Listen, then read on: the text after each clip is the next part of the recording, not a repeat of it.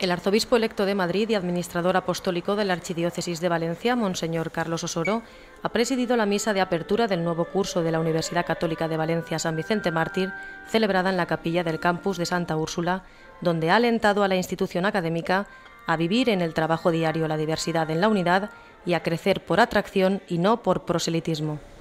Esto es lo que tenemos que hacer cada cristiano y cualquier institución que se llame católica. No crecer por proselitismo, crecer por atracción, como lo quiso nuestro Señor.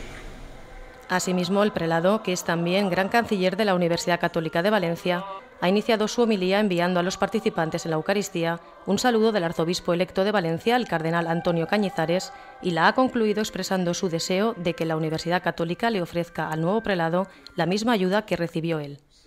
En la misa y en el acto de apertura de curso han participado los máximos responsables de la institución académica, encabezados por el vicegran canciller de la Universidad Católica, José Tomás Raga, y el rector José Alfredo Peris, rectores de universidades valencianas, el director general de universidades de la Generalitat Valenciana, Felipe Palau, decanos de las facultades de Teología y del Instituto Pontificio Juan Pablo II, miembros del patronato de la Universidad Católica de Valencia, profesores y personal no docente.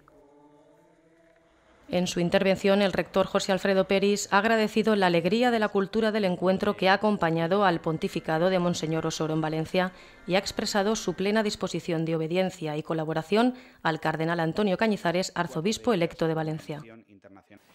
Y gracias por todo lo que nos ha aportado como arzobispo y gran canciller, que ya se ha referido,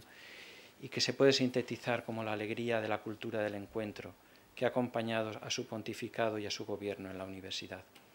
Transmita, por favor, querido don Carlos, nuestra más cordial felicitación al cardenal Cañizares por su nombramiento, así como nuestra plena disposición de obediencia y colaboración con su persona y las directrices que nos marque su pontificado y su gobierno en la universidad. Además, Peris ha felicitado a Monseñor Osoro por su nombramiento como arzobispo electo de Madrid y ha dado las gracias al Papa Francisco porque, según ha dicho, suministrando un nuevo aliento a la Iglesia en España, se favorece también a la Iglesia en Valencia. Por su parte, la jornada ha concluido con las palabras de Monseñor Osoro, quien ha agradecido el trabajo de la Universidad Católica de Valencia y ha invitado a sus miembros a seguir haciendo una universidad que cambie el corazón y cree relaciones nuevas entre los hombres.